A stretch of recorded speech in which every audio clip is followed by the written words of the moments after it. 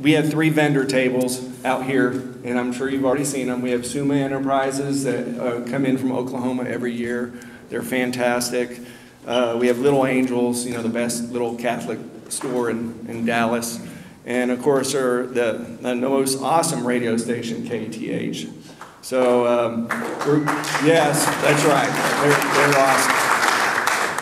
So, uh, we hope that you're inspired today actually to visit the vendor table. Because really as men we need to demonstrate our faith openly. And what better way to demonstrate it through something that you can wear or more importantly maybe give away for christmas to your family your friends or whoever. So you know consider that when you're out at the table that hey we need to we need to show who we are